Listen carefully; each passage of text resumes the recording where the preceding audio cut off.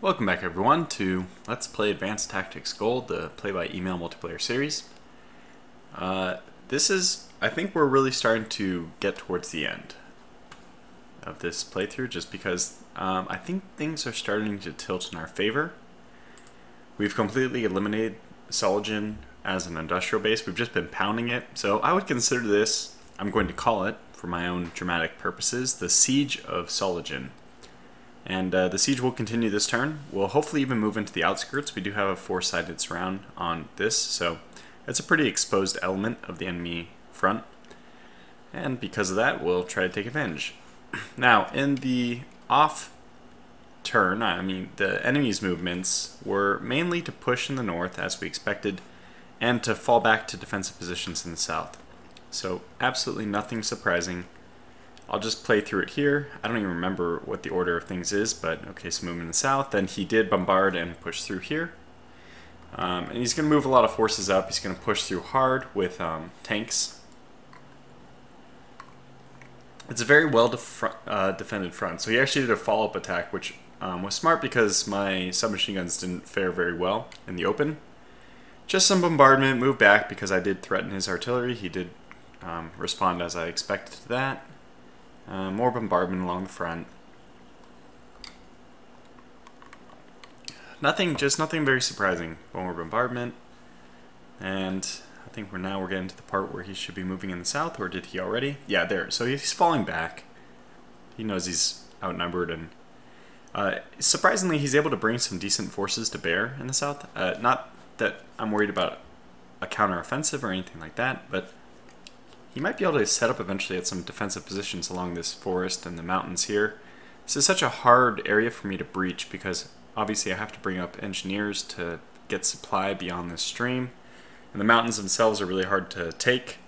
So so I think this will be kind of fun to push in this out because it's at my own leisure. I can choose when to move or whenever.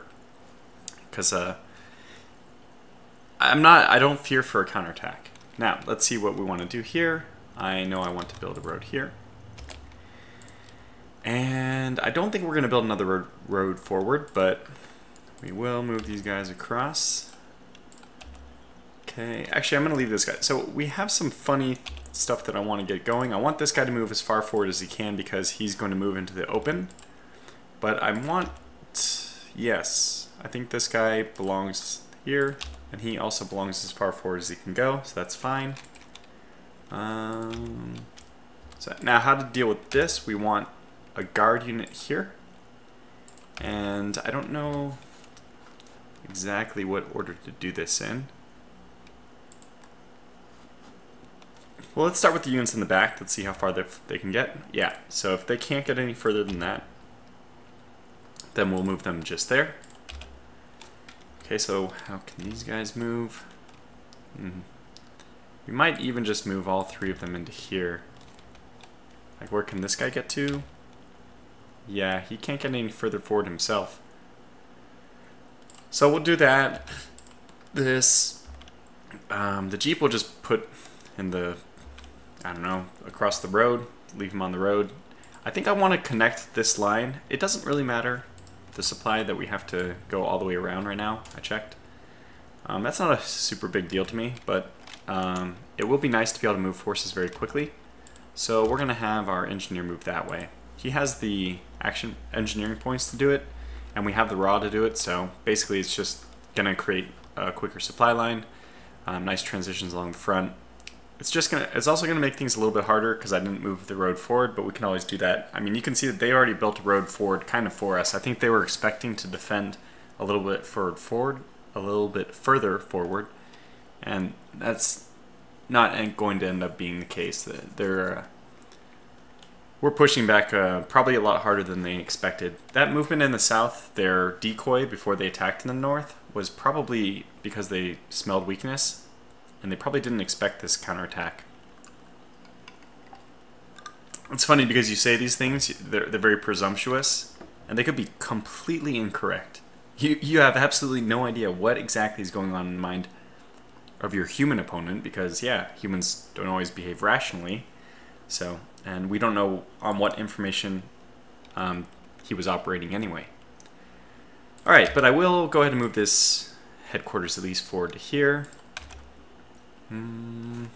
Well, I guess we can start this from the top. I don't... Um, looking forward, I think we'll attack this area and then possibly follow up an attack here because I think he has... We have pretty good reconnaissance here, and I see that he has uh, one Light tank, but he has two that are really... or one more that is really low weak readiness. Excuse me. So I think that this is a good target of opportunity. Is uh, these... It's a really weak armory, even though it's in the urban. Uh, it's in a city hex, so it's harder for my tanks to assault in. I think that we should have enough firepower to overwhelm. Um, they're pretty weak tanks. It's just two tank units, you know? It's uh, relatively minor. So my goal will be to try to push into that as well. And that's why I'm calling this the siege of siege of Sollingen because we won't be able to take it, but we're taking, you know, the non-industrial parts of the city, not the ones that matter as much, but uh, certainly this is going to give us a real good vantage point from taking for actually assaulting into a Sollingen uh, proper. Okay, uh, I was expecting to use the armored cars on this turn, but now I very much doubt we will be able to because there's no real uh, ability for us to attack into this forest. It's got an anti-tank, which already makes it really hard to defend uh, to attack. But on top of that, um, it's in the forest. So I don't really think we'll do that. What we might do is just attack into this hex because I can bring up the artillery to expose it. That's number one. And uh, number two, it, it's just going to flesh another hole in their lines. So this is the, the weak point, obviously, along their lines. It's the open territory. So the problem is I don't know who can attack in. So we're, we're obviously moving these guys forward so they don't have any ability to attack after they move. Um, can any of these guys attack from down here? I don't think anybody can attack from here. We'll just have to do a one-to-one -one attack, which is fine if we get enough artillery. So let's just go ahead and do that right away. We don't need to bombard any of these units because I'm not worried about a counterattack. I'm really, uh, I'm not. So let's just go ahead and assault these guys with our 2. Well, that was over very quick. Did kill 9 units, which is surprising. And the rest of them are down to about half readiness. Yeah, I think that's sufficient for an attack. I think we'll conduct this attack even with my yellow infantry. I don't feel like using my machine guns to attack. I feel like they're better used to defend, so I'd like to move them in after. Can you attack? No. So yeah, this is the only unit that can attack with my armored car group. So, and you guys can't, and you guys can't either. Okay, so then I guess it's settled. We don't attack this turn. We just wait one more. So that's just the way it's going to have to be, which is fine. We can push up with these forces, so now everyone's kind of finally making their way to the front. Uh, let's see. Okay, you guys can move. Wait, can you get in here? Ah, fantastic. And you... Hmm. I guess you'll move here, because that's where everyone else is, just for fun. And I think let's put a little bit more pressure in this area, this gap right here.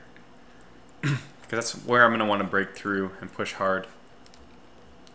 And this is what I mean. They actually have, you know, not a terrible number of forces. This is uh, reasonable. Very reasonable. So, so now I think we can begin stretching their line uh, out this way. I think we're in supply based on that road. Nope, this guy's slightly out of supply. That's okay. And, you know, I might even move this unit one more forward. There's really no reason for him to be hanging back at all. There's no artillery in this area, so uh, yeah, that's we'll do that. Okay. We might as well get this attack down in the south. So, I think I'll move this guy here. And we'll attack with the two artillery here, which are strongest. And then we'll follow it up with a third bombardment. Okay, well, that actually did a lot less than I thought it would. But we are lowering entrenchment. Let's hope we can get a little bit more out of this.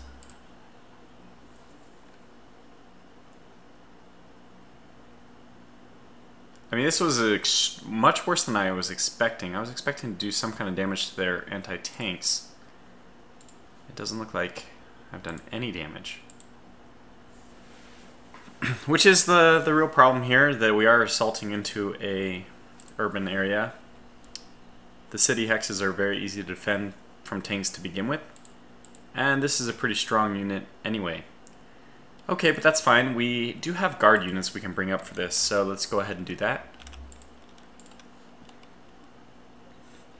You, you haven't gotten any use yet, so let's let's give them some use, right? Now let's see where this attack can be. Okay, submachine guns will do well. All these guys, and I think we want one more unit in the south to attack. We don't have any guard units. So you can attack.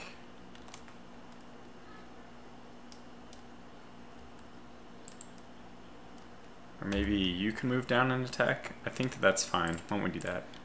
Okay. Let's grab these two, these two, these two, and that. And it's a perfect, the perfect number. Nice concentric bonus. Um, I'm a little nervous about the fate of my tanks, but you know, we just got to go for it. So Go ahead and engage. Watching, watching, watching, watching. Yes! Wow. Okay, very good. So we ended up actually killing all of their anti-tanks. We didn't lose a single tank ourselves. We probably... This unit, uh, the ninth... Our ninth armor just... Uh, extremely good performance. Extremely good performance. Doesn't look like their tanks took a hit at all. Seventh armor took some a little bit more, and the first armor had to retreat, and they also have a guy who's looks like he was very close to being destroyed. A tank that took heavy damage. So this must be the one that took heavy damage. You can see the readiness is extremely low.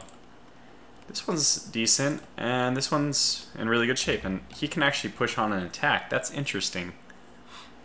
And he's in, he's actually in really good shape. That's the, the ninth, right? Yeah.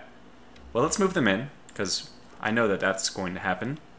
Give us a better idea of what we can do, too. Let's move this artillery forward along the road. And these guys will move in as well. We don't have any... Do we have any anti-tank? Not nearby, at least. I don't know where they are. Oh, they're down here. Well, we don't need them down... Oh, yeah, they are actually defending against this armor. Okay, that's good.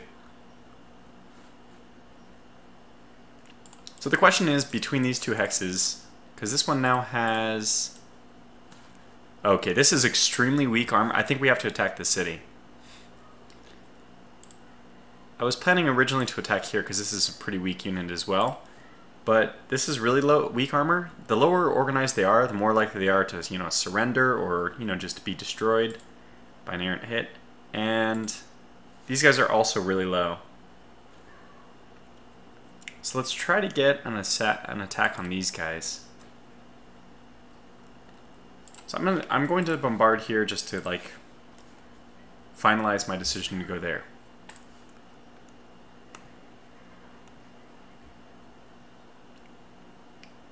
Okay. Yeah, that, that was good, actually.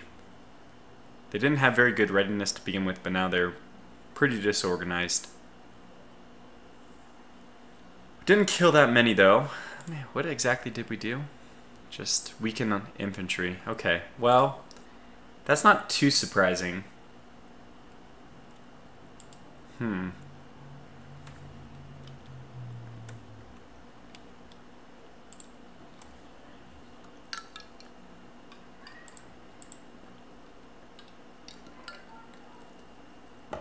I'm really debating what to do here. I mean, we have really good armor right here as well. We can just attack him with like a ton of armor. Let's leave this one because he is a little bit disorganized from that. Yeah, I don't like attacking with... it's not enough infantry for me. I'd prefer to attack him with more infantry.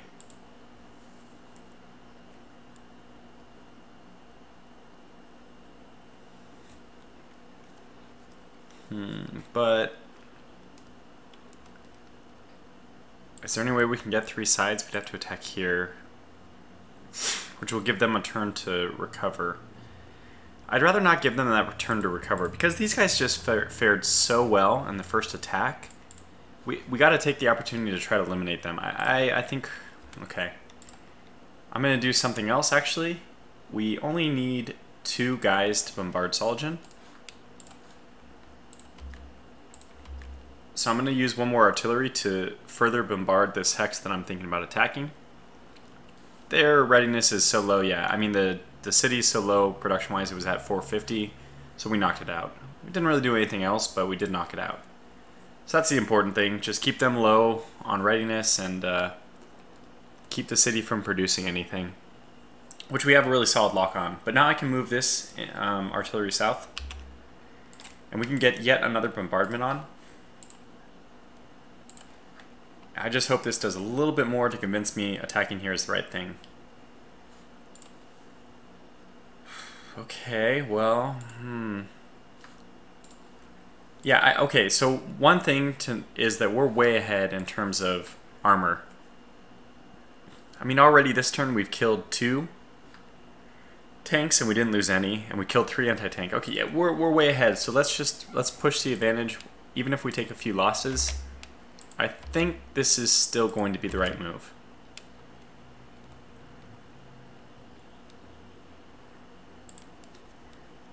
I'm just wondering whether to engage with another force.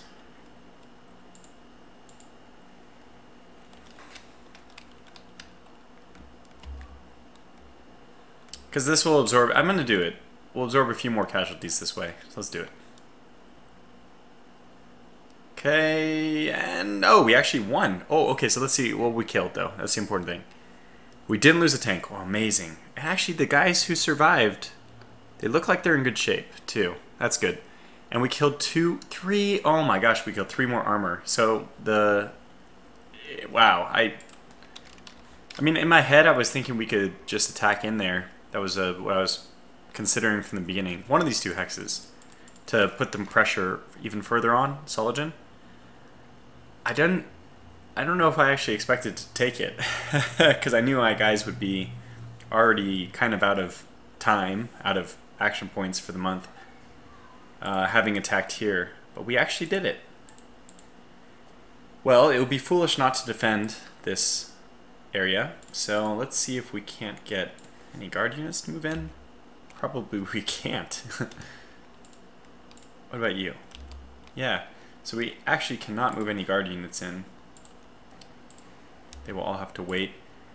Even though these guys are a little bit lower on readiness, I'm going to move in just because, you know, huge bonus. You get the huge bonus for doing that. Okay, and we have plenty of armor who can move in here, so if you did the attack... Go, okay, let's see.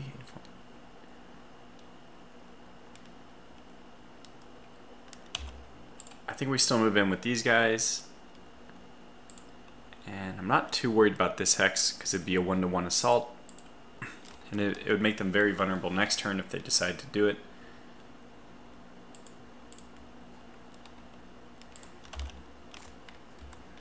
Let's get these um, really strong machine guns in.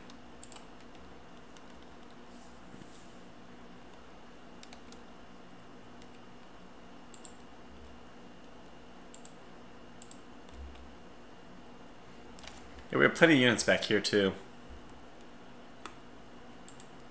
I'm going to move this machine gun south actually because I, I think what I want to do is attack into this forest next turn. So I'd like to get a whole bunch of units ready because that doesn't have any armor so if we just throw enough infantry at it, it should be okay. Probably we cycle this guy out for a moment. Okay, he can move in there because he can't do anything else. Move this guy in here, cycle this guy. Oh, he has to move in as well. Oh, that's fine. And he can move in here. Fantastic. Okay, good. That's a pretty strong defense. Mortars, armor. Uh, it is surrounded on four sides, which isn't good, but...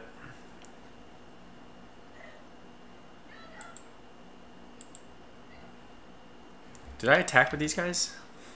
I did. I'm gonna have them move in, actually.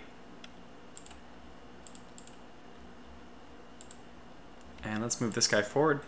Yeah, I'm pretty happy about that. That's good.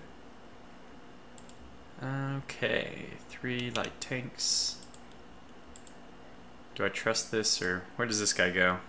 Here or here? Here would be to stage him for the offensive next turn. Actually, we have plenty of armor there, so let's go here. okay, yeah, so now we're extremely well defended.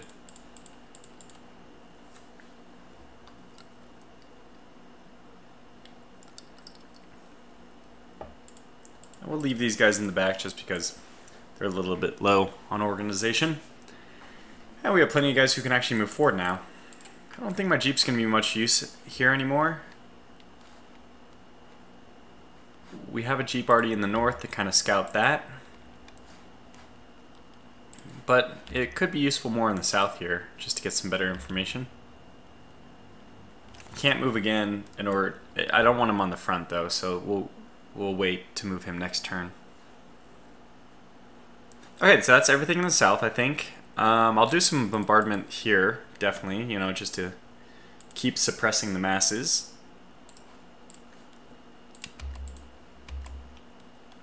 Yeah, I'm going to continue to bombard this one pretty tough.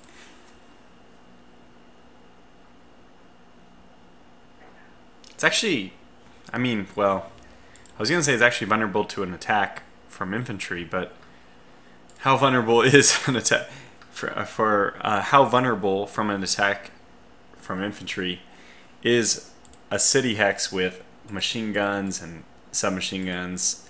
Yeah, probably not really. I can only get a two.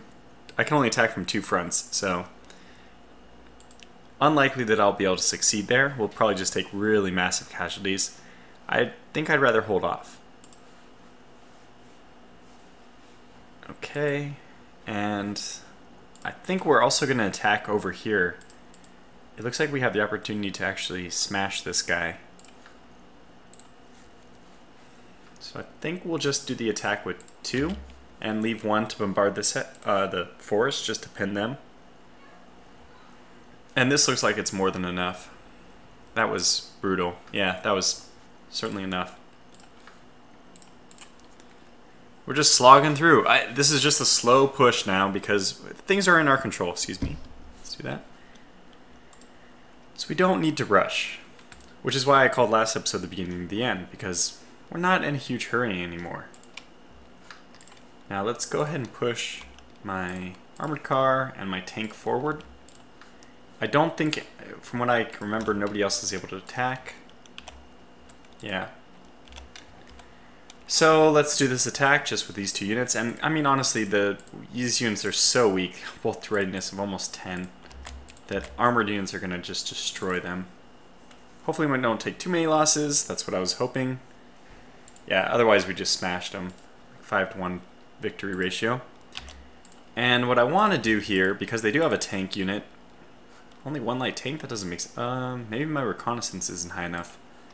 Let me get this engineer to rebuild our bridge. Okay, now, how much does this take? 40? So they only have two standard light tanks in there. That surprises me. I thought this would be a full, like a fully enforced armor division, which for him I think is four.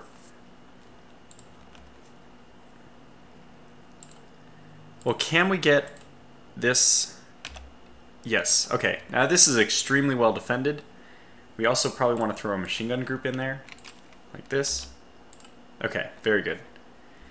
And once again, we'll be uh, we'll be preparing to breach through. Let's get this guy to be a machine gun defense. And I don't see any reason why not to move this guy forward one. And we'll just start putting a whole bunch of these guys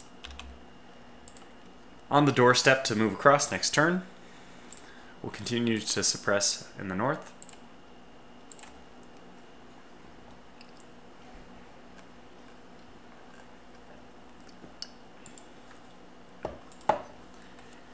And now this leads us to the last thing we really need to do, um, which is the north. Excuse me real fast. so how do we react to this breach? It's a good question. We're going to want infantry to come here to help out. And we'll probably do a, a complete fallback to these positions. Well, I'm going to leave this guy for now. Uh, I think he might end up here, but probably he'll move here. If they try to move around me, I'm okay with that. Then we just pin them in the north. So probably I'll move him down, but let's see how things look. Um, we need to box this group in, so let's move this guy over here. We want to support up here as much as possible, but we can't. So we can't get those guys. It takes 120 to move there. Okay. Well, let's defend very heavily here then. And probably do like something like this, like this, and like this. Let's swap these guys so that this guy can move forward and this guy can move here. Like this is a very well defended area. Um, this is vulnerable to an attack, but they're going to have to do it against well-entrenched submachine guns. We have anti-tank here, so that's a good start. I'm just going to put these guys into the forest, just run them in. Because they need to recover for a turn anyway. And I don't think, I didn't look, but could they have gotten here? I actually don't remember now, so I made a small mistake just by not looking. Let's put machine guns to help defend our tanks. And that's a really solid defensive line. So we'll do this. It, it, it looks like it'll come down to them attacking here with tanks to push forward. Which would be fine. They could also move um, their engineer and build a road this way and probably get their tanks to here or maybe even to my oil. Okay, in order to prevent such a happenstance, let's get my armor to protect my oil. And I think I have enough, so let's get this guy up here. And I have enough, I think, for one more armor division for my Supreme Headquarters.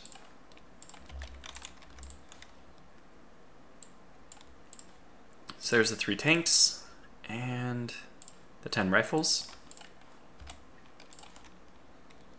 Yeah, they're they're in really good shape too. They don't have any experience. We need to try to keep them off the front for as long as possible. But they'll be a deterrent for the time being at least. I, am just trying to make sure we keep um, zone of control pressure everywhere. So zone of control pressure from this unit extends here, then from this unit extends here. So uh, we just keep them from being able to move freely.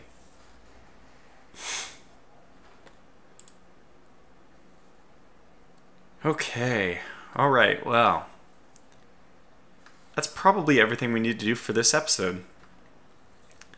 I know this is a really exposed unit, but I'm not. I'm just not going to attack. All I need to do is keep shoring up defenses here, keeping slowing them down, giving my defenses time to build up. That's really all I need to do. Which I can. I mean, since I'm reinforcing from my main headquarters, which is so close by, we have plenty of time to play it slow, just defend. Let them keep inching forward, even if they just take two hexes every month, every turn. Um, a turn is a month they won't make it very far very fast. All the while, we're pushing on Sollingen, and I mean, indirectly, we're, we're pushing towards Castle.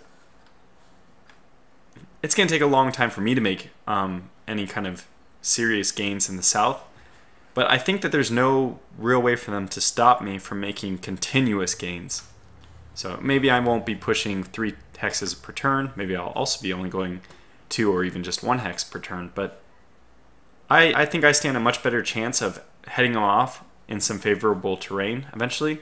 Particularly, I mean, this would have been the ideal to defend here already, but they caught me a little bit off guard. So we'll try to do make do with the best we can with um, some anti-tank stuff. Okay, so we pushed across. This unit is so weak, I, I'd almost consider attacking it.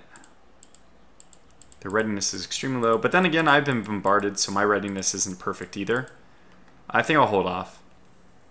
This artillery is going to have to react by bombarding this unit, I think. So let's actually split up my forces here a little bit. Let's grab. Hmm, I'm gonna grab this unit and 2730. This unit and move them south a little bit just to prepare for possibly attacking across, pushing in to help out there. Hmm. We have plenty of infantry here whose readiness has been given enough time to recover as well. So let me move this really good unit in here.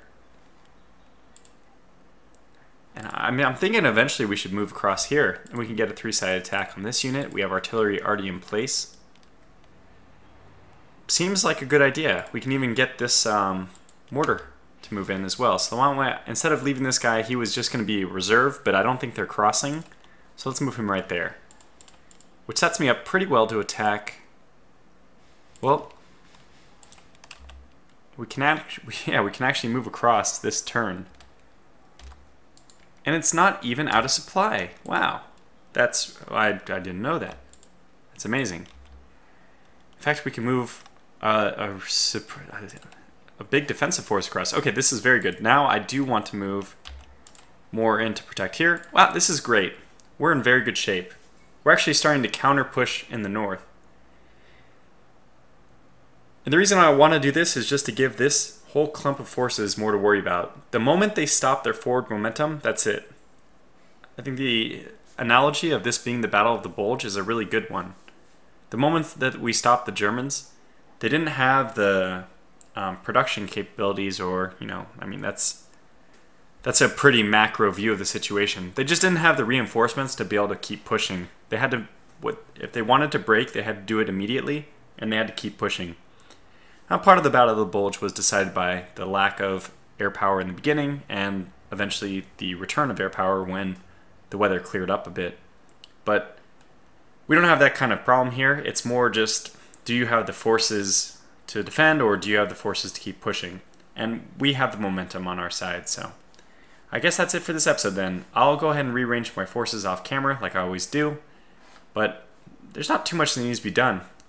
Maybe I'll push forward here again just to give us a better... Yeah, I will, I'll certainly do that. I need to move some forces in here.